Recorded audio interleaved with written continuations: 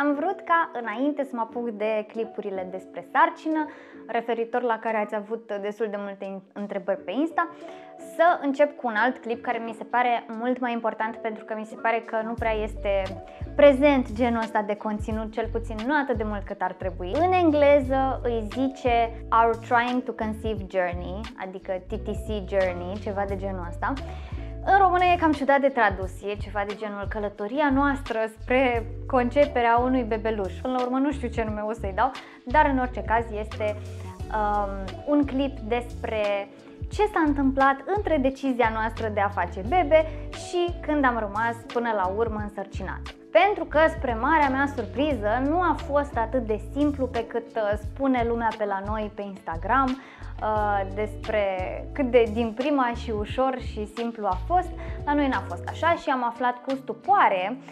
că aproape jumătate dintre cuplurile din România care vor bebeluși trec prin aceeași călătorie, adică durează ceva mai mult de un an. Așa că clipul ăsta are uh, două scopuri mari și late, că de asta mi se părea atât de important. În primul rând, uh, pentru cei care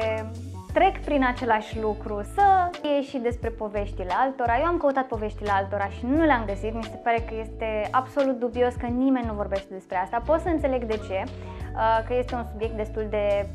sensibil și dureros în unele cazuri și atunci nu-ți vine să stai să vorbești public despre asta, dar în primul rând pentru că mie mi-au lipsit asemenea povești, am zis că neapărat vreau să fac uh, eu una atunci când o să fie cazul ca să știți și deznodământul. Mi, mi s-ar fi părut foarte greu să vă povestesc asta în timp ce se întâmpla, pentru că efectiv nici eu nu, știu, nu știam ce o să se întâmple, deci mi se părea că n-am ce să vă zic mai mult. În al doilea rând, pentru mine personal, din nou, pentru că este o poveste foarte personală, a fost o experiență atât de grea, în mare parte pentru că aveam niște așteptări complet nerealiste,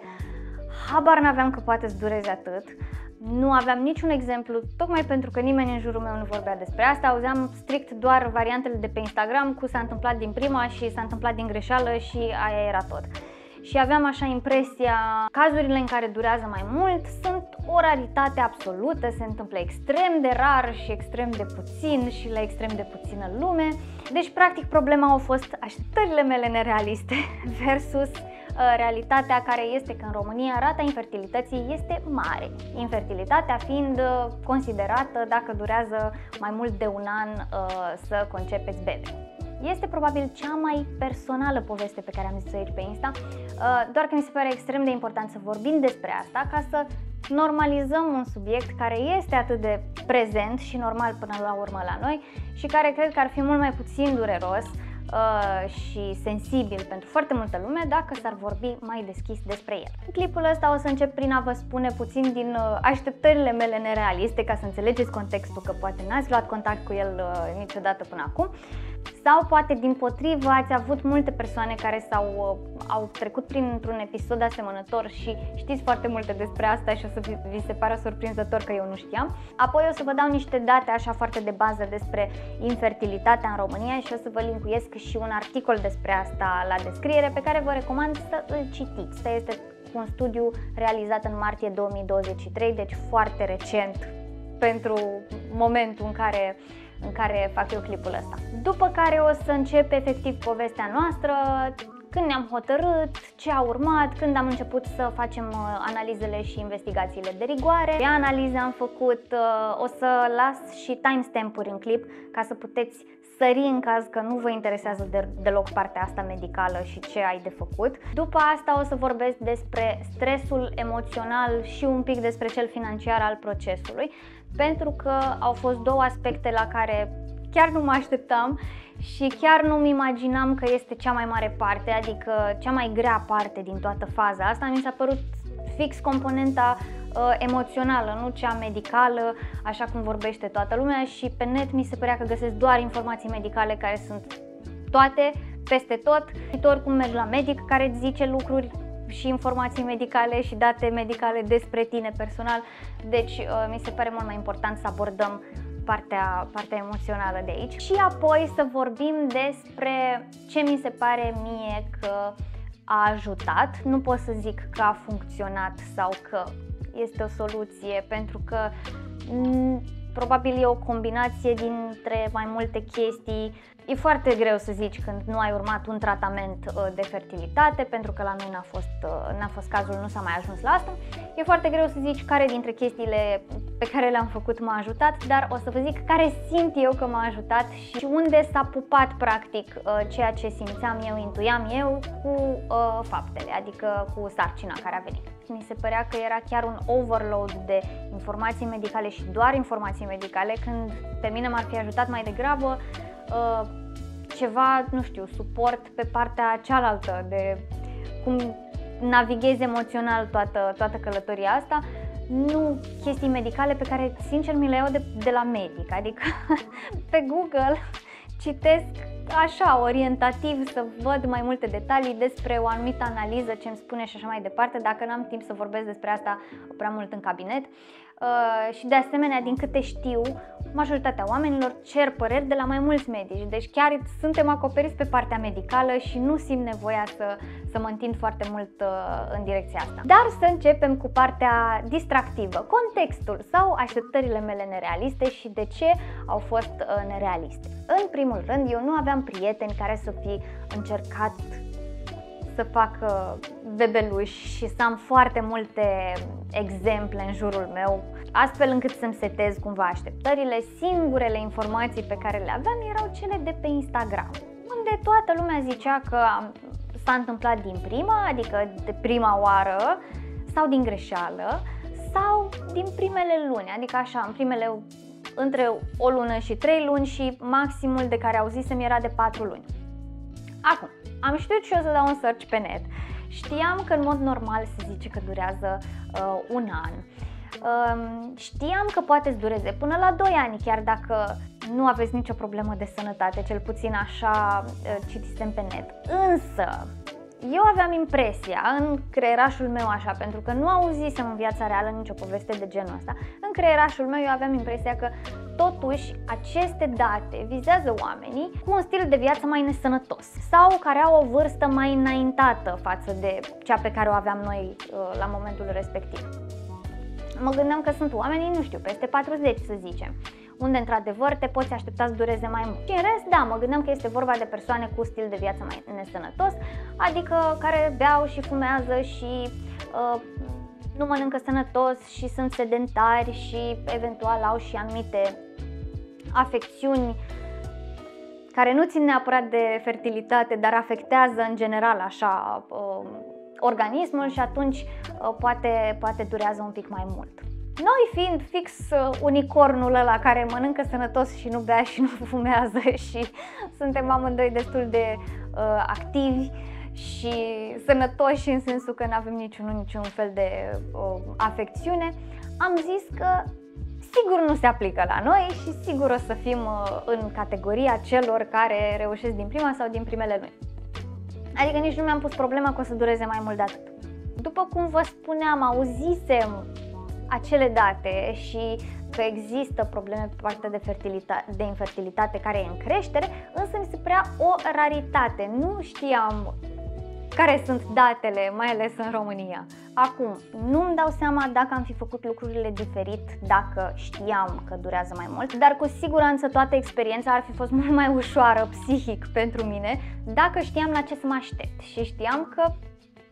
nu-ți garantează doar pentru că ești uh, sănătos tu, uh, nu-ți garantează nimeni că o să se întâmple foarte repede cu atât mai mult că aveam și exemple de pe partea cealaltă, în care, nu știu, existau anumite probleme de sănătate și le pregăteau pe fete medicii sau le spuneau că s-ar putea să dureze mai mult și să se apuce din timp dacă își doresc copii și s-a întâmplat uh, surpriză foarte repede, adică într-o lună, două, trei, cum nu se preconiza să se întâmple, așa că cumva la mine ajungeau doar exemplele astea foarte pozitive și rapide și am zis că nu avem absolut niciun motiv să ne aflăm pe partea cealaltă a baricadei. Ei bine, după aceea, când uh, ne-am aflat pe partea cealaltă a baricadei, am început să aflu și poveștile celelalte și am descoperit cu stupoare că sunt uh, la fel de multe și singura diferență este că nu se vorbește, nu se prea vorbește despre ele public și de-aia n-au ajuns la urechile mele și trăiam într-o asemenea, uh, nu știu, iluzie că este un aspect foarte simplu și rapid. Sincer, dacă știam datele reale, sunt destul de sigură că m-aș fi apucat mult mai devreme. Noi am început când eram, simțeam că suntem pregătiți să ni se întâmple asta în următoarele 2-3 luni. Gata, suntem pregătiți pentru o sarcină, pentru un copil, pentru așa, hai că-l facem acum. Dar uh, nu m-am gândit că ar trebui să-mi iau un, un avans și probabil că mi l-aș fi luat dacă uh, știam toate lucrurile astea. Pe de altă parte, acum fiind în capătul experienței, uh, mi se pare că lucrurile s-au aliniat și s-au uh, sincronizat cu alte chestii de, din viața mea uh, profesională și personală atât de bine, încât totul a ieșit perfect și atunci nu știu, cu mintea de acum nu știu dacă m-aș întoarce în timp, dacă aș face lucrurile diferit. Așa, dar spre deosebire de așteptările mele, realitatea este cea din studiul din martie 2023 pe care vi-l las link în descriere pentru 4 din 10 cupluri care încearcă să uh, facă un bebeluș va dura între un an și 5 ani și pentru 1 din 10 cupluri va dura peste 5 ani. Adică dacă ești la masă cu încă 9 prieteni și toți sunteți parte dintr-un cuplu și toți încercați să faceți bebeluși, pentru 4 dintre voi o să dureze între 1 și 5 ani, cum a fost și în cazul nostru, și pentru unul dintre voi va dura peste 5 ani. Deci cu siguranță nu este atât de o raritate pe cât îmi imaginam eu că este și mai mult din totalul de sarcini anuale în România, aproape un sfert, sunt obținute uh, prin tratamente de fertilitate și asta în condițiile în care nu s-a măsurat câte au fost uh, obținute natural sau spontan în condiții de infertilitate, dar fără să se apeleze uh, la tratamente. Cum a fost și cazul nostru până la urmă. Și mai știam și niște lucruri greșite Spre exemplu, aveam impresia că dacă durează mai mult de un an, este garantat pentru că există o problemă medicală despre care nu se știe. Nu auzisem niciodată despre infertilitate neexplicată, care presupune că nu există niciun uh, factor medical care să preîntâmpine concepția și ce m-a mai șocat este că există infertilitate secundară, adică cazuri în care uh, prima sarcină se obține foarte ușor sau din greșeală și a doua nu mai apare. Și aparent este și foarte frecventă această infertilitate secundară, fiind aproape la jumătate din cazuri. Dar acum să începem cu povestea noastră și ce s-a întâmplat din punctul în care am decis haide să facem bebe și până când am ajuns la uh, medic și ce investigații am făcut. Prima mea curiozitate referitor la acest încercat, despre care mi se părea că nu vorbește nimeni, este ce înseamnă încercat la fiecare, pentru că încercat poate să fie și pur și simplu renunțarea la uh, mijlocul de contracepție și atât, flower power în rest, vedem când se întâmplă, poate fi și după recomandarea oficială a medicilor, și anume întâlniri romantice în săptămâna aceea fertilă, cele 5-6 zile fertile din lună, neapărat, odată la două zile, că asta e recomandarea oficială. Există și varianta în care urmărești uh, perioada respectivă ca să te asiguri că faci lucrurile cum trebuie. Și mai exista varianta pe care o văzusem în Friends la Chandler și Monica cu pe ceas uh, programat uh, și așa mai departe. Și nu știam care, ce înseamnă încercat la oameni timp de un an, că nu știam cum să însetez așteptările din nou, problema mea cu așteptările. Așa că la noi, în uh, primă fază, primele 2-3 luni, nu știu, uh, doar am renunțat la mijlocul de contracepție, dar nu am urmărit neapărat uh, acea perioadă fertilă, până când mi-am dat eu seama, uitându-mă în aplicația de tracking a ciclului menstrual pe care o foloseam de ani de zile deja, că aproape că ratam în fiecare lună intervalul acela de acele zile fertile, tocmai pentru că se întâmplau chestii și cumva toate se întâmplau fix atunci, fix în zilele alea. De genul, avea Mihai uh, filmări până târziu, fix în zilele alea. Uh, și lucra foarte mult. Ba, aveam eu o perioadă haos la muncă și lucram foarte mult. Ba, răcise Mihai, tușea de numai și era cu febră și stat în pat și cumva mi-am dat seama că trebuie să fim puțin mai atenți la fix la perioada aia ca să ne creăm ocazii fiind în același loc, după care pur și simplu am început să fim atenți la săptămâna aia ca să avem toate, toate momentele potrivite și să fim amândoi acasă și așa mai departe. Și vreau să vă spun, țin să menționez că în primele șase luni chiar am fost foarte relaxați amândoi pentru că aveam convingerea că o să se întâmple și nu ne stresam cu asta. Încercând în, în același timp cam ca la carte. Deci chestiile pe care le-am auzit, uh, alea enervante, știți voi, uh, trebuie să fii relaxat ca să se întâmple, nu se prea aplică. Am auzit și la alții care au fost relaxați în primii 2-3 ani și tot nu s-a întâmplat, deci din păcate nu e atât de simplu ca în filme și nu este cu trebuie doar să te relaxezi. Adică, evident, ajută să fii relaxat, dar nu prezice neapărat ce o să se întâmple. După care la șase luni am fost eu la o verificare la medicul ginecolog să-l întreb dacă să ne apucăm cumva de analize sau uh, să mai așteptăm pentru ele și să verific uh, toate lucrurile ecografic. Totul era bine ca de obicei și mi s-a spus că nu ne recomandă neapărat să facem, să facem analizele din două motive. Uh, sunt destul de stresante, sunt destul de invazive la femei și sunt mai scumpe. Și atunci, ca să nu ne stresăm și noi înainte de vreme și să dăm bani și totuși să se întâmple pe la 9, 10, 11 luni,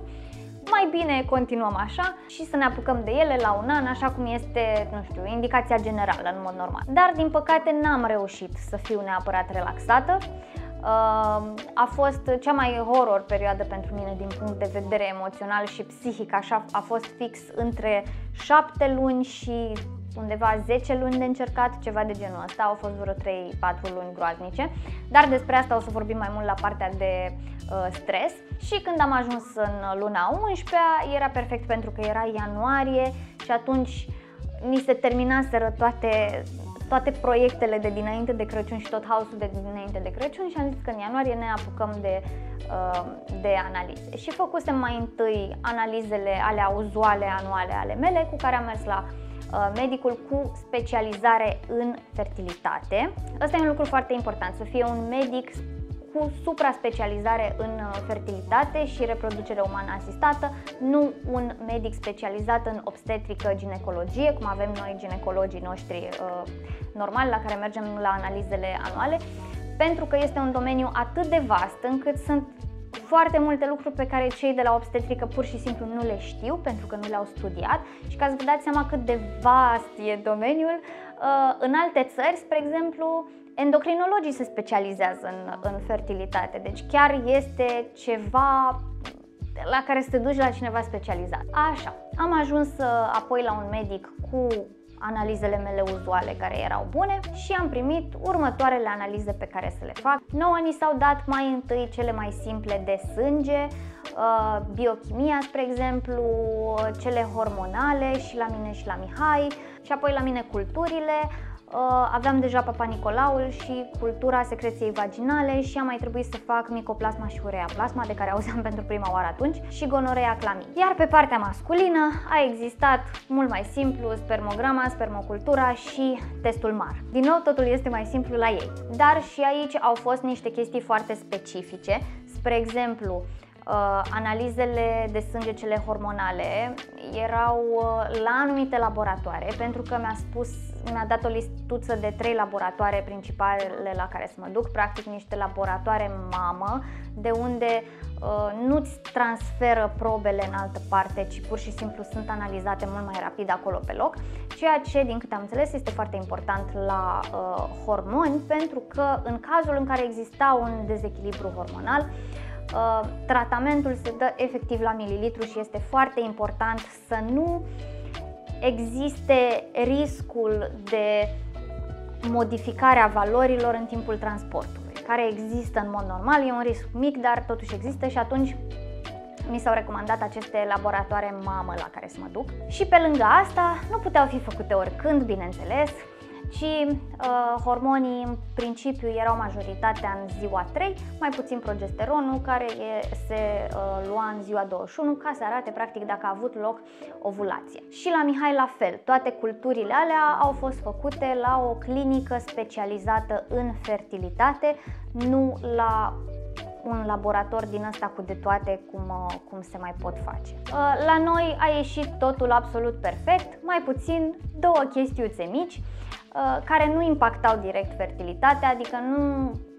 impactau posibilitatea de a concepe, însă dacă ar fi apărut o sarcină, ar fi putut pune în pericol sarcina. În cazul meu a fost uh, urea plasma, care mi-a ieșit pozitiv și de care nu auzisem până atunci. Am auzit că unii medici uh, recomand uh, această cultură Mycoplasma ureaplasma să fie luată anual ca Papa Nicolaul și uh, secreția vaginală. În cazul meu nu s-a întâmplat, am vorbit cu mai multe prietene și nici lor nu le recomandau medicii uh, în mod uzual să facă chestia asta. Și vă recomand neapărat să o faceți anual pentru că, la fel ca în cazul clamidia și gonorea, în caz că există în sistemul vostru, uh, pericolul este că, că dacă rămâne prea mult timp netratată, poate în timp să blocheze uh, trompele, una dintre ele sau pe ambele și atunci să pună probleme de fertilitate. Și din păcate chiar nu toți medicii recomandă această analiză, pe lângă asta este în cele mai multe cazuri asimptomatică, adică nu te deranjează cu absolut nimic pentru că pleacă de la o bacterie care există în mod normal în sistemul nostru și doar când scapă de sub control uh, e o problemă. Și atunci sunt foarte mari șanse să nu te deranjeze cu absolut nimic și să existe acolo în tăcere uh, și este foarte afuristic. Așadar, eu am primit tratament pentru asta și la Mihai la fel, o bacteriuță asemănătoare s-a găsit, a primit și el tratament. După cum spuneam, nu ne-a ajutat la mare lucru, adică ne-a ajutat că am detect, le-am detectat și am putut să le rezolvăm înainte să obținem o sarcină ca să nu avem ulterior probleme, însă nu era o explicație pentru uh, de ce a durat atât de mult. Și după asta am ajuns la ultima investigație care se lasă pe final pentru că este și cea mai invazivă, cea de verificare a permeabilității trompelor uterine și se face o histerosalpingografie sau o histerosonografie. Eu am făcut varianta uh, mai puțin invazivă, care este numită mai puțin invazivă și uh, bineînțeles că am făcut research pe Google și am, uh, am ascultat podcasturi de la medici care explicau cum funcționează și peste tot scria că este nedureroasă și nu a fost deloc așa și a fost un, un, un șoc că nu a fost absolut deloc uh, neinvazivă, nu s-a simțit neinvazivă, s-a simțit extrem de invazivă și de nașpa și mi-ar fi plăcut să știu asta ca să mă pregătesc psihic sau cel puțin să nu am un șoc că este complet opus de ceea ce mi s-a spus. Din nou, asta, asta mă afectează cel și mă deranjează cel mai tare. Când ți se spune că ceva este foarte bine și nu mi se dă posibilitatea să mă pregătesc psihic pentru ceva mai greuț. Pentru că dacă știu că este ceva mai greuț, după aceea sunt, a da, este la fel de greuț cum mă așteptam. E ok, o să treacă, știu cum funcționează. Dar așa ă, a fost și asta o experiență mai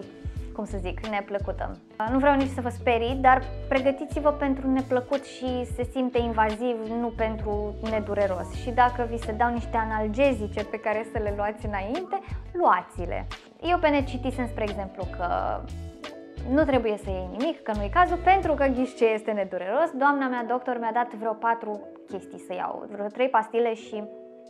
un supozitor sau ceva de genul ăsta. Ideea este că la farmaciile la care am fost nu găsisem acea capsulă și am luat doar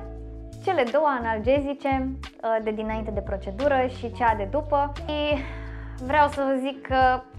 ar fi trebuit să caut poate și, și capsula aia. Și rezultatul a fost unul nu rău, nu bun, inconcludent oarecum, pentru că pe gelul acela se vedea foarte clar cum a trecut prin, uh, prin tubul drept, deci era super ok pe partea dreaptă. Când a trecut la al doilea uh, tub, la cel de pe stânga, nu prea trecea. Adică a început să treacă mai târziu, dar așa un firicel foarte, foarte micuț. Uh, și concluzia a fost că fie a fost un spasm muscular, că se poate întâmpla destul de frecvent, de la durere și disconfort, să se uh, spasmeze și să se închidă efectiv trompa uh, și de asta să nu treacă, sau să fie pur și simplu un blocaj. Mi s-a spus că este ori asta, ori asta, dar că e mai bine să presupunem că este un blocaj, astfel încât dacă ajungem la tratamente de fertilitate, să avem lucrul ăsta în vedere, să nu ne apucăm de, de ceva tratamente când ovulația este partea, pe partea aia. Și așa am ajuns la finalul uh, investigațiilor și analizelor care mi s-au părut o veșnicie, mi s-au părut că nu se mai termină și când am ajuns la finalul lor, din păcate, nu aveam un răspuns așa cum speram eu să am. De ce? Pentru că mie mi se părea, incertitudinea asta mi se părea cea mai grea și speram să aflu un răspuns de genul ok, la voi problema este asta uh, și s-ar putea să dureze între atât și atât. Pur și simplu voiam un timeline ca să pot să îmi calibrez așteptările și să mă gândesc ce să fac cu viața mea până atunci. Și din păcate, analiza asta nu m-a ajutat absolut deloc pentru că răspunsul rămânea același. Poate să se întâmple oricând sau niciodată. Pentru că oricare răspuns din acest range ar fi fost uh, posibil, pentru că un tub blocat, chiar dacă ar fi fost blocat, pentru că mai târziu am aflat că nu era și a fost doar un spasm, nu te încurcă foarte tare, așteptarea în mod normal este tot să se obțină o sarcină în maxim un an, de diferențe, dar să revin foarte repede la partea medicală ca să încheiem și cu ea. Ăsta a fost momentul în care ni s-au încheiat uh, analizele complete, ca să zic așa, și în sfârșit am putut să cer și să primesc acel what's next și ce facem în continuare. Care mă interesa de fapt pe mine, ca să știu uh, cum procedez și cum planific mai departe. Ni s-au spus recomandările generale, uh, Ni s-a spus și că nu ne-ar recomanda să încercăm foarte mult natural după ce depășim acei 2 ani de încercat. Uh, la noi în punctul ăla era deja un an și câteva luni de încercat. Terminasem uh, analizele în, la finalul lui mai, cred, sau începutul lui iunie și după aceea ni s-au dat mai multe variante de tratamente, primul fiind uh, o inseminare și ni s-a spus și de varianta de FIV care se recomandă în mod normal după 3 uh, inseminări nereușite ca să nu te chinui prea mult cu inseminările care nu au o rată de succes atât de mare. Și a spus că în cazul nostru FIV-ul ar avea o rată de succes uh, foarte, foarte bună, lucru care era bine de știut, dar Uh, nu eram foarte încântată de această idee oricum. Și bineînțeles ni s-a spus că avem și opțiunea să o lăsăm baltă și să încercăm așa până când uh, se întâmplă ceva. Lucru care mie nu-mi convenea pentru că eu îmi doream copila cu 2 ani, uh, nu peste încă 10 eventual dacă se întâmplă. Așa că sincer nu aș fi mers oricum pe varianta de așteptat și încercat pur și simplu. Și hotărârea pe care am luat-o atunci a fost că ne luăm uh, vara liberă să nu ne mai gândim absolut deloc la chestia asta. Eram deja epuizată psihic cu toată presiunea și uh, stresul fizic de la analizele astea care mi s-au părut foarte invazive și planul era să revenim în septembrie-octombrie la doamna doctor pentru o primă inseminare să încercăm și asta. Pentru inseminare ar fi trebuit să-mi fac programare cu două săptămâni înainte de uh, ovulație, uh, pentru că am fi mers pe o variantă fără stimulare ovariană. În cazul meu uh, s-a considerat că nu ar fi cazul pentru că ovulația era bună și așa și s-a considerat că nu ar aduce niciun beneficiu în plus. Uh, și atunci uh, ăsta era planul. Așa că în continuare noi ne-am văzut de treaba noastră, ne-am văzut de vara noastră, ne-am dus în vacanțe. Uh, eram deja foarte relaxată pentru că um, relaxată în sensul că re- resemnată așa și relaxată că aveam planul. Pe mine asta mă interesa, să am un plan, să știu că am ceva de făcut, să știu că începem niște tratamente și începem să facem ceva în privința asta. Și mai aveam o mini curiozitate, nu pot să zic speranță, pentru că efectiv nu mai aveam speranță că o să se întâmple natural, chiar nu credeam că o să se mai întâmple natural, dar eram fericită că o să începem tratamentele, dar aveam o mini curiozitate așa, pentru că se zice că uh, cresc cu 30% șansele să uh, apară o sarcină în primele două luni după acea investigație a permeabilității trompelor. Și eram curioasă, pentru că se zice că dacă mai sunt așa niște chestii micuțe, uh, niște blocaje micuțe, se pot debloca alea în uh, timpul procedurii, să fie împinse de acel lichid și atunci cresc cu 30% șansele și uh, sunt mai multe sarcini obținute imediat în luna după sau uh, luna cealaltă. Și mai eram curioasă să văd dacă o să se întâmple și la noi și nu s-a întâmplat. Când nu s-a întâmplat, sincer a fost pentru prima oară când n-am fost dezamăgită, n-am fost supărată pentru că efectiv nu mă mai așteptam să se întâmple, eram perfect resemnată, nici măcar nu-mi păsa pentru că știam că începem tratamentele și aveam așa uh, elan destul de mare în privința asta, știam că facem ceva în privința asta. După care a venit august, în care chiar nu m-am mai gândit la asta, pentru că, după cum vă ziceam, mi se părea că that ship has sailed uh, și aveam foarte multe proiecte și atunci ne-am ocupat de proiectele alea și nu m-am mai gândit absolut deloc. Cred că am avut uh, o singură șansă, o singură ocazie în toată acea săptămână care ar fi contat în, în august, adică fix ultima săptămână din august era. A fost așa fix noroc sau cum vreți să spuneți, predestinat, whatever. Și atunci am rămas însărcinată. Am aflat uh, chiar de aniversarea noastră pe 11 septembrie, dar o să zic mai multe despre asta uh, la începutul clipului viitor despre sarcină. Și ce să vedeți, când am fost la medic, s-a demonstrat că în luna respectivă ovulasem fix pe partea cu tubul care se zicea că este, care putea să fie blocat, ceea ce însemna că totuși nu era blocat și a fost, uh, fusese doar un spasm din cauza procedurii în acel moment. Deci, iată că am rămas, uh, rămăsesem însărcinată, natural, fix pe acea, pe acea parte și fix înainte de inseminare, pentru că în punctul ăla când ar fi trebuit să-mi vină ciclul atunci, uh, ar fi trebuit să sun să anunț ca să-mi fac programarea peste două săptămâni pentru o primă inseminare. Așa, și acum partea cu stresul. Stresul uh,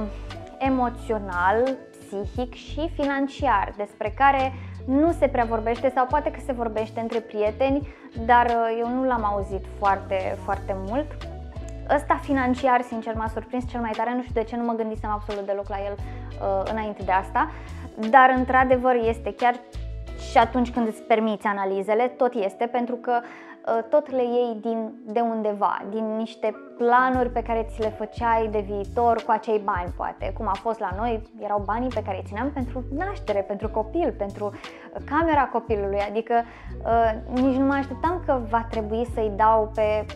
niște teste, adică nici măcar niște tratamente ca să obținem copilul, ci efectiv niște teste să vedem dacă uh, putem să facem copii în primul rând. Pentru mulți oameni nu este o sumă ușoară, am auzit de cazuri uh, de persoane care au făcut împrumut la bancă ca să-și facă tratamentele FIV, ceea ce este perfect de înțeles că și alea sunt vreo 5.000 de euro după aceea dacă ajungi la FIV și cum la mulți uh, sunt necesare mai multe încercări, vă dați seama că nu este un lucru ușor pentru toată lumea. Și și dacă ar fi ușor să zicem că partea financiară nu este absolut deloc o problemă pentru tine, tot este un stres foarte mare, psihic și emoțional și mi-e foarte greu să-l explic pentru că pur și simplu trebuie să mă credeți pe cuvânt că dacă n-ai trecut în viața ta prin așa ceva, nu ai cum să înțelegi, pentru că nici eu nu înțelegeam. Vă zic sincer că nu înțelegeam de ce ar fi o chestie atât de stresantă uh, și e foarte greu de explicat. Și am vorbit cu oameni cu copii, am vorbit cu oameni fără copii, vă asigur că nici care nu înțeleg pur și simplu nu înțeleg. Doar persoanele care au trecut printr-un episod de genul ăsta ar putea să înțeleagă cum este și trebuie să ne credeți pe cuvânt că este extrem, extrem de greu. Pentru mine personal a fost cea mai grea experiență din toată viața mea. Adică gândiți-vă decese în familie, chestii de-astea normale, uh, probleme normale de viață cum are oricine, asta a fost de departe cea mai grea uh, probă așa pe care am avut-o de trecut până acum, din punct de vedere emoțional. Dar cum ziceam, este acest cocktail, este și partea financiară un pic, uh, și partea asta emoțională și partea psihologică. Uh, sunt foarte multe care contribuie la cocktailul ăsta, ca să nu mai spun că ți se dă peste cap tot planul vieții și vă zic asta din perspectiva unei persoane care înainte uh, spunea că, adică mi se părea că dacă o să ajung vreodată să aflu că nu pot să fac copii sau ceva de genul ăsta, nu este nicio problemă că adopt. Mi se părea o idee minunată adopția, în continuare mi se pare, doar că mi se părea că este foarte simplu. Nu poți face copii, adopți, toată lumea e fericită, are și copilul casă și eu oricum simțeam că pot să iubesc orice copil, deci nu, nu se punea problema de nu înțelegeam de ce ar fi o chestie stresantă pentru mine până când efectiv am ajuns în acest punct. De ce este stresant? În primul rând pentru că uh, în cazul meu, cel puțin, eu mi-am imaginat întotdeauna că voi avea copii și m-am trezit dintr-o dată că planul meu nu este viabil sau că s-ar putea să nu se întâmple niciodată sau că s-ar putea să nu arate deloc atât de simplu și uh, fluid cum îmi imaginam eu. Și când am ajuns uh, pus în fața faptului, mi-am dat seama că de fapt e o decizie mult mai grea, pentru că să adopți poți la orice vârstă, să faci copilul tău natural, nu poți la orice vârstă pentru că fertilitatea este într-un continuu declin de când te naști, practic. Deci cu cât aștepți mai mult, nu e ca și cum puteam să zicem hai că adoptăm acum și mai încercăm peste 6-7 ani, că peste 6-7 ani poate ar fi fost și mai greu și atunci cumva ratam șansa la o experiență mai scurtă sau mai ușoară sau mai puțin costisitoare dacă nu încercam acum. Ideea e că niciodată nu ai de unde să știi cum o să reacționezi când treci printr-o anumită experiență. Ori câte planuri ți-ai face înainte sau te gândești dacă aș păți asta, aș trece prin asta, aș reacționa așa, aș face așa și te gândești la acțiuni, nu, nu, aia este mintea ta rațională. niciodată nu ai de unde să știi cum, care o să fie reacția ta emoțională la o chestie până când treci prin ea și nu vă doresc să treceți prin ea.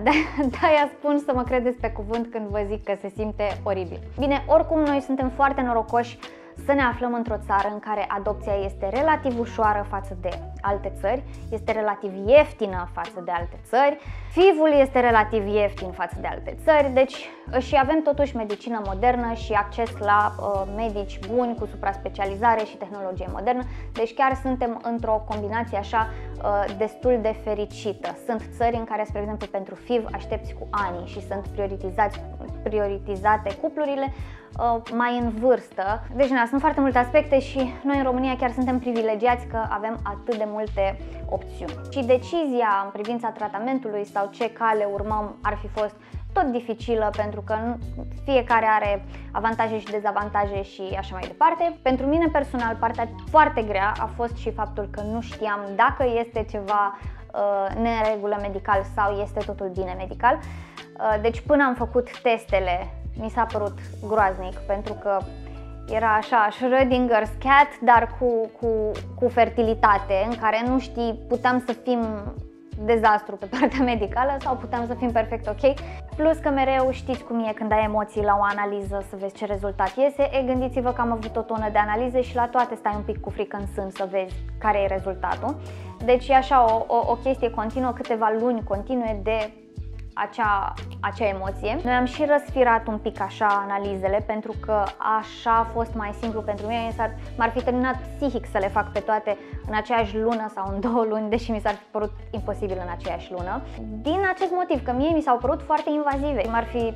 copleșit total. De asemenea, dacă lucrează cineva de la 9 la 6, așa program normal și mai are și un serviciu foarte intens, nu-mi imaginez cum ai putea să-ți iei atât de mult liber pentru toate analizele astea. Adică eu știu că înainte și după analize oricum nu mai eram bună de nimic psihic, că era stresul ăla. Pur și simplu de la stres, nu mă mai puteam concentra după aceea. O altă chestie care a fost pentru mine personal foarte stresantă era că trebuia să ne facem programul în funcție de aceste analize, nu puteam să ne punem concediu oricând, trebuia să fim atenți, să fie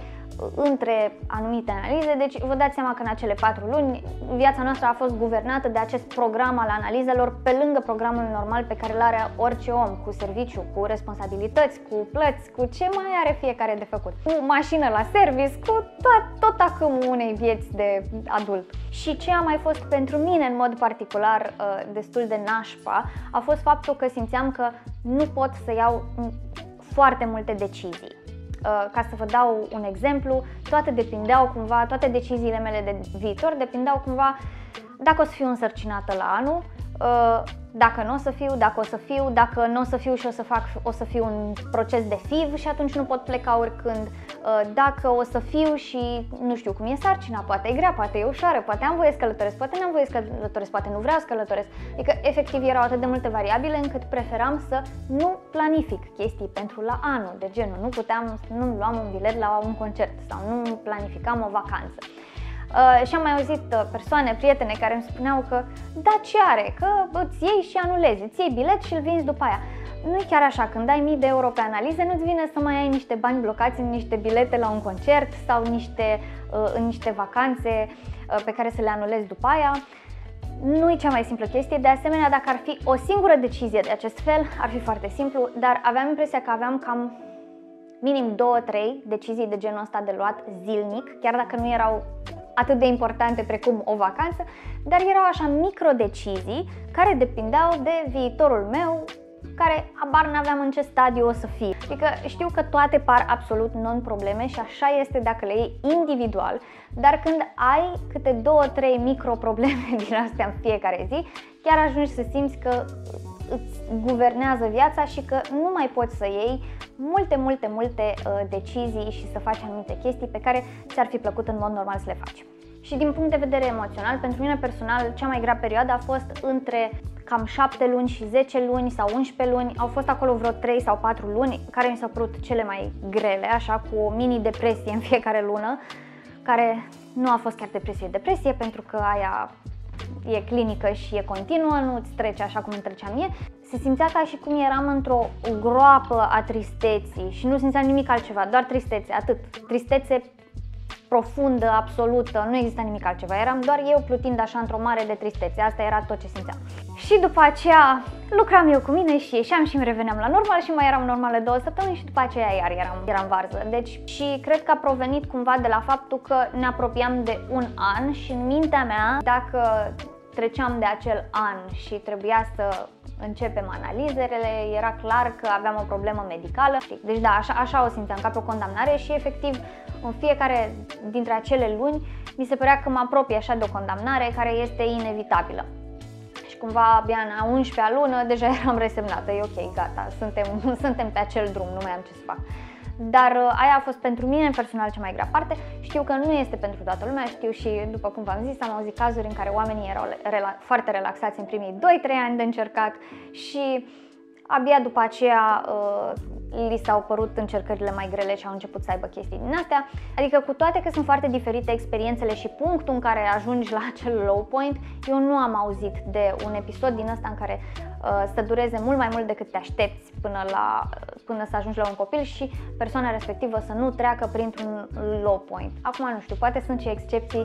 uh, oameni care au reușit să rămână optimiști și să nu fie afectați de toată această experiență, dar uh, sincer mi-e greu să cred. Sau poate dacă cumva te așteptai să dureze la tine mai mulți ani, uh, nu ajungi în punctul ăla, habar n-am. După aceea, când am început uh, analizele, simțeam mai degrabă stresul ăsta de, nu știu, frica de, de analize, stresul cu rezultatele și aceasta, nu știu, o, o senzație asemănătoare cu pandemia în care nu poți planifica lucruri pentru că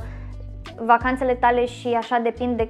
analize și investigații și când trebuie să le faci pe următoarele. Nu știu dacă are sens, dar este, este, a fost o experiență asemănătoare în care, da, nu simțeam că posed în totalitate controlul asupra viitorului meu și că e undeva în afară.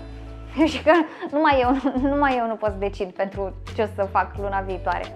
După analize m-am resemnat total, după cum vă spuneam, mi se părea, eram ferm convinsă că Uh, că nu o să se mai întâmple nimic natural, dar iată că știam un lucru, știam că mă aflu într-o parte uh, și aveam un plan și deja mă simțeam mult mai, mult mai liniștită că știu ce am de făcut. Mi s-au mai recomandat niște, mi-au spus din stânga-dreapta, Uh, niște persoane mai familiarizate cu infertilitatea, că ar trebui să începem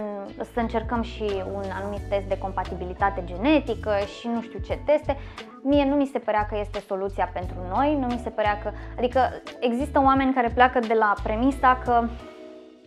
sigur e ceva medical și că nu are cum să fie și e doar medical și n-a fost descoperit și trebuie să faci din ce în ce mai multe teste, tot mai multe teste, toate testele dacă se poate. Cel puțin am simțit că nu ni se aplică nouă, că nu este cazul nostru, că nu avem nimic ascuns de uh, nicio problemă ascunsă pe care trebuie să o căutăm uh, mai tare. Asta mi-a spus intuiția, asta am urmărit și sunt fericită că uh, am luat decizia asta și nu ne-am chinuit uh, mai departe cu asta. În același timp am auzit și cazuri de persoane care au simțit că există o problemă și că nu este descoperită pentru că nu li se dau mai multe teste și că nu au fost investigați suficient. Și medicii ziceau, nu, nu este bine, totul este ok, să voi sunteți ok și nu le mai dădeau teste suplimentare. Dacă ai aceste senzații, este bine să le investighezi, adică tot timpul mi se pare că trebuie să îți asculți intuiția, pentru că și în cazurile alea s-a demonstrat că într-adevăr au găsit ceva uh, ulterior la niște teste suplimentare. Încredeți-vă în, în ce simțiți și mergeți pe calea aia. După cum spuneam, mie mi s-a părut că la noi a fost arhi suficient ce făcusem și că pur și simplu ar fi fost degeaba să, să ne stresăm și mai tare în continuare. Așa, și acum partea mea preferată, ce a ajutat, ce simt că a folosit. Am pus în acea categorie pentru că fie m-a ajutat foarte tare psihic să-mi păstrez optimismul și uh, calitatea vieții, fie au fost chestii noi pe care le-am făcut înainte de să obținem sarcina și s-a, s-a pupat timingul și ar putea să fie avut o contribuție la uh, acea sarcină. Și ce nu a ajutat, uh, după cum vedeți, o să fie chestii pe care le făceam deja de multă vreme. Cea mai importantă chestie care mi se pare că nu ne-a ajutat a fost stilul de viață sănătos. Știu, nu vreau să vorbesc urât despre stilul de viață sănătos pentru că dacă nu credeam în el, nu l-am fi păstrat în continuare și n-am fi rămas amândoi cu acest uh, stil de viață. Însă, deoarece eram activi, uh, eu fac mișcare în fiecare zi, aproape, mâncăm destul de sănătos, uh, luam suplimente, câțiva ani înainte să, să, să încercăm să obținem această sarcină. Am renunțat la toate produsele chimice și detergenți și parfumuri și așa, tot așa, cu câțiva ani înainte să încercăm. Deci toate chestiile astea care ți se recomandă așa ca prime chestii magice pe care le poți face uh, ca să rămâi însărcinată, cel puțin ce am văzut eu online, uh, la noi nu au funcționat pentru că dacă ar fi funcționat, ar fi funcționat din prima. Adică eu deja le foloseam de 2 ani, să zicem, ar fi trebuit să, să fi mers mult mai repede dacă era doar contribuția lor acolo. Și desigur că pentru unii oameni fix asta este soluția, fix asta este veriga lipsă, pentru că dacă tu dormi 5 ore pe noapte și bei și fumezi și mănânci doar fast food și chestii de genul ăsta, normal că corpului tău îi lipsesc anumite chestii care să ajute la fertilitate și ar fi un mare plus să schimbe acele chestii. Dar cum la noi nu era cazul, era clar că, era clar că nu de acolo venea problema cumva. Un alt lucru care nu m-au ajutat au fost suplimentele alea scumpe și bune și naturale și whatever. Nici alea nu simt că m-au ajutat pentru că le luam, le luasem de când începusem uh, încercările. Pe unele mai generale, nu neapărat de fertilitate, le luam și de dinainte. Pe astea începusem chiar când începusem noi să încercăm să facem bebe și a durat un an jumate, aproape doi, deci nu cred că ar fi fost de la ele și că m-au ajutat cu mare lucru. Singurele care au potențialul să fie ajutat, nu sunt sigură, sunt unele pe care a început să le ia Mihai și a început să le ia cam cu 3 luni înainte să rămână însărcinată, deci să zic că alea care se numesc Supramen, vă las oricum uh, link în descriere, deci poate alea să fi contribuit, în rest, sorry, dar nu, doar a contribuit la energia noastră și la starea de sănătate generală, ca să zic așa, dar nu simt că datorită lor am rămas însărcinată. Și acum, ce a ajutat? Uh, ce a ajutat, vă zic din start, că nu o să fie cu nicio legătură medicală, pentru că nu ne-a ajutat nimic medical, medicalul doar ne-a dat așa un raport a situației actuale, iar la tratamente, după cum v-am spus, nu ajunsesem. Ce m-a ajutat pe mine cu adevărat a fost o schimbare de mindset care vine din domeniul psihoterapiei mai degrabă, nu din uh, medicina uh, fiziologică și din partea asta de dezvoltare personală, o să vă mai zic, uh, din partea de spiritualitate, care m-a ajutat foarte mult și au fost și niște instrumente așa mai ezoterice pe care le-am folosit ca să-mi uh, mențină optimismul când simțeam că uh, mai uit de el. Uh, Uh, dar o să vă zic uh, despre fiecare pe rând. La partea de dezvoltare personală și psihologie puteți să uh, ajungeți la, să mergeți la terapie, cu siguranță ar ajuta foarte mult. Poate aș fi ajuns și eu la un moment dat, dar în punctul ăla nu știu sincer de ce am mers, n-am mers, probabil pentru că ieșeam din ele singură și cumva foloseam instrumentele învățate anterior în terapie și nu, nu simțeam că aș putea să mă duc stabil în fiecare săptămână, doar de asta n-am fost. Și aveam deja multe resurse pe care să le folosesc ca să reușesc să ies uh, singură cumva din impas, ceea ce s-a și întâmplat ulterior. Deși mi-ar fi prins bine uh, suportul și pe de altă parte cred că tot aveam impresia că nu are cum să te înțeleagă o persoană care n-a trecut prin episodul ăsta și atunci, cu toate că este un terapeut și este empatic și știe să te facă să te simți înțeles, aveam dubii că o să înțeleagă această situație specifică. Dar ce poate ajuta este să vorbești cu persoane care au trecut prin uh, experiențe asemănătoare. Mie, spre exemplu, mi-a lipsit asta, mi-ar fi plăcut să, să am parte de asta. Am căutat și niște grupuri, doar că în grupurile alea se vorbeau fix despre analize și fetelor ce credeți despre analiza asta și nu era, nu era ce mi-ar fi trebuit mie, dar am uh, făcut alte cursuri care nu aveau neapărat legătură cu fertilitatea, uh, dar uh, o să vi le las. Sunt cele de la Oana Sforoi, sunt minunate, mi s-au părut uh, cursurile ei și grupul pe care îl face și discuțiile de acolo și meditațiile a fost efectiv terapie pură cursul ăla de o lună și meditațiile zilnice pe care le-am făcut, schimbarea de mindset pe care am avut-o și anume renunțarea asta totală la control la mine a venit prin renunțarea la speranță. Deci, efectiv, eu nu mai credeam că o să rămân însărcinată natural și asta mi se pare că m-a ajutat cel mai tare. Problema este că nu este un sfat pe care poți să-l dai cu, cuiva, nu poți să-i zici renunță și atunci o să se întâmple, deși am auzit chestia asta. Nu poți să zici pentru că nu, nu te poți forța să renunți când ai speranță la ceva și e și greșit să-i spui cuiva renunță la speranță. E ca și cum cineva speră că businessul lui va face un business de succes și tu la un zici nu, nu o să ți se întâmple niciodată, renunță la speranță. Nu poți să-i zici așa ceva cuiva. Unul la mână că nu-l ajută cu nimic, doi la mână că nu poți renunța la o speranță pe care o ai așa uh, la comandă. Este un proces, îți vine natural, la un moment dat ajungi la niște concluzii și nu mai speri. Cam asta e procesul. Dar da, la mine a funcționat cuplat cu încredere absolută că o să facem, o să, o să avem un copil. Eu în mintea mea am format în convingerea că sigur la 2 ani de încercat o să facem noi cumva, fie facem FIV, fie adoptăm, fie o să facem ceva, dar eu nu trec de următoarea zi de naștere a mea, care era în mai, fără, să, fără un copil, deci un copil tot o să am, facem noi rost de el cumva, nu contează. Deci erau cumva cele două, cele două chestii, renunțare totală și încredere totală cuplate. Nu știu să le explic, nu știu dacă se înțelege ce vreau să zic, dar cam astea, cam astea m-au ajutat cel mai tare. Și acum, partea de încredere absolută. Cum poți să ai încredere absolută în ceva uh, pentru care n-ai nicio dovadă și nicio speranță și așa mai departe. Aici mi se pare că intervine foarte mult partea de spiritualitate. Și de asta vedeți că după o anumită vârstă mulți oameni încep să, încep să devină religioși sau încep să fie, nu știu, să descopere tot felul de uh, căi spirituale, eu cred că este tocmai din cauza faptului că în viață ajungi la niște momente atât de grele încât trebuie să faci rost de speranță când nu ai absolut nicio dovadă rațională că o să iasă lucrurile bine pentru tine. Uh, și cu siguranță cea mai bună variantă pentru asta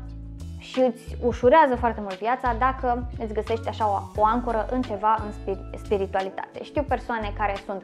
mai pe zona religioasă, care recomandau ceva ritual cu Sfântul Anton, te duci să pui dorințe în fiecare marți la biserică, este o biserică aici în București. Deci este și zona aia, puteți explora, este și zona pur și simplu de încredere în univers, cum am eu, cred într-o forță sub supremă, superioară, care guvernează lucrurile și le așează pe toate în, în ordinea lor perfectă. Nu știu, poate credeți în mama pământ, în, sunt tot felul de chestii. Nu o să vă zic eu în ce să credeți, pentru că mi se pare că pur și simplu trebuie să uh, rezonezi cu lucrul ăla, dar explorați un pic din aceste credințe spirituale și vedeți, poate rezonați cu una dintre ele, pentru că, într-adevăr, mi se pare că viața este mai simplă și îți oferă o ancoră așa în, în momentele grele în care chiar n-ai, n-ai nicio altă luminiță. Găsiți o formă de mișcare care vă place pentru că cresc endorfinele și vă ajută foarte mult. La mine a rămas, a fost dintotdeauna și a rămas yoga, m-a ajutat uh, și acum foarte tare și am început să fac mult mai multe meditații ca înainte. În, înainte de episodul ăsta mi se părea suficientă mini-meditația pe care o făceam în timp ce făceam yoga, că îți pauza așa creierul și mi se părea suficient, dar acum Chiar mi-au prins bine niște meditații care au fost geniale. Uh, din nou, îți vă las toate, toate resursele în, în descriere. La fel, îți calmează așa foarte tare mintea și poți să nu mai ai zgomotul ăla de fundal și acele griji constante în legătură cu orice. Ajută foarte mult în asemenea momente. Uh, pe partea de dezvoltare personală, la noi ce simt că a ajutat foarte mult și ce spun prietenii noștri că sigur ne-a ajutat foarte mult, a fost uh, partea de Feng Shui. Am chemat un consultant Feng Shui și chiar ne-a ajutat, a, bine, mă rog, de metafizică chineză care include Feng Shui, adică amplasarea casei în funcție de punctele cardinale, astrologie chinezească, sunt, e așa o combinație de foarte mulți factori, se fac calcule cu formule matematice, este un domeniu mult mai complex nu este Feng Shui ăla despre care ați auzit de la americani în care pui o maimuțică nu știu ce colț al casei și o să ai prosperitate și peretele din dormitor roșu și o să ai pasiune. Nu, aia este o versiune foarte simplificată și vestică care nu, nu e cea clasică chinezească. De ce ni s-a părut nouă că a funcționat asta și ne-au spus prietenii că a funcționat asta? Este pentru că, ca urmare a schimbărilor care ne-au fost recomandate, și ne-au fost recomandate pentru că aparent dressing-ul bloca o zonă a casei responsabilă de fix de fertilitate, pentru că dulapurile și zonele astea în care e static și nu circulă aerul așa, reprezintă blocaje într-o casă, că nu circulă nimic pe acolo. Și la noi bloca fix zona așa și ne-a spus cum să mut. Și ni s-a spus că am începe să vedem uh, diferențe sau efecte cam după două luni după ce implementezi o asemenea uh, schimbare în casă, așa e la orice schimbare pe care o faci în casă. Asta s-a întâmplat. După două luni am rămas însărcinată, adică toți prietenii noștri după ce le-am povestit experiența au fost convinși că asta, asta a contribuit și noi la fel. Uh, nu pentru că aveam foarte multă încredere în această metodă neapărat, am făcut-o doar așa pentru că simțeam să căutăm răspunsuri în altă parte, dar nu stăteam cu sufletul la gură și nu eram convinsă că o să funcționeze, dar se pare că chiar a mers. Și au mers mai multe lucruri dintre cele pe care ni le-a dat de modificat. Și altă chestie care cumva a prevăzut asta a fost că mi-am făcut o astrogramă nu făcusem niciodată o astrogramă și eram curioasă, asta pe partea de ezoteric, așa intrăm acum pe instrumente ezoterice, dacă vă interesează. Mie mai place numerologia, urmăresc niște gagici uh, simpatice care povestesc despre numerologie și astrologie pe, uh, pe Insta și uh, chiar mi se potrivesc foarte bine chestiile pe care le zic dar numerogramă sau ceva de genul ăsta mai făcusem în trecut și de data asta am zis că hai că îmi fac o, o astrogramă și în astrogramă, uh, ce să vezi, zicea cam același lucru, că erau nu știu ce blocaje, planete, lucruri, știți voi, uh, dar că aparent urmau să se deblocheze începând cu jumătatea lunii august. Și asta s-a pupat perfect, pentru că fix la finalul lui august am, am rămas însărcinată. Și o altă chestie pe care îmi plăcea să o urmăresc erau niște citiri de astea generale de tarot de pe YouTube cu niște tipe simpatice care tot așa erau foarte optimiste și aveau o energie așa foarte uh, simpatică și mă înveseleau tot timpul. O să vă las în descriere mai multe resurse, atât cele pe care v-am zis că le-am folosit eu sau că m-au ajutat și mi-au plăcut mie, cât și altele auzite de la alți oameni care au rezonat foarte mult cu ele, cu care eu personal n-am rezonat, dar vi le las acolo pentru că nu se știe niciodată cu ce rezonați și poate vă găsiți fix chestiile care să vă ajute uh, din această listă, chiar dacă nu fix acelea pe care le-am uh, folosit eu. Și instrumentele astea, cum au fost, uh, spre exemplu, clipurile astea de YouTube,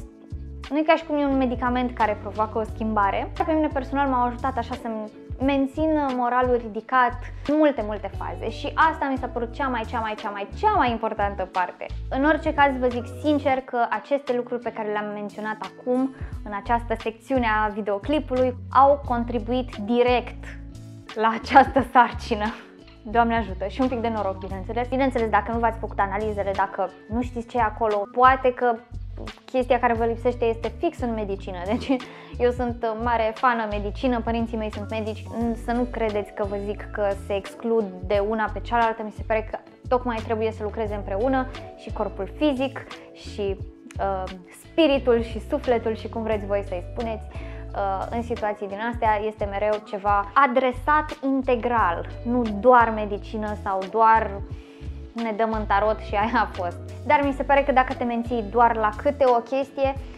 ai o perspectivă mai izolată și mai limitată față de toate posibilitățile și, de ce nu, instrumentele care ar putea să te ajute. Cam asta a fost povestea de azi. Sper să ajungă clipul ăsta la cine are nevoie de el. Eu vă transmit mult, mult optimism. Uh, ne auzim în uh, comentarii dacă aveți întrebări sau vreți să povestim despre ceva sau puteți să-mi scrieți și pe Instagram. De asemenea, dacă vreți, clipul următor va fi despre primul și al doilea trimestru de sarcină. Cam atât. Vă pup!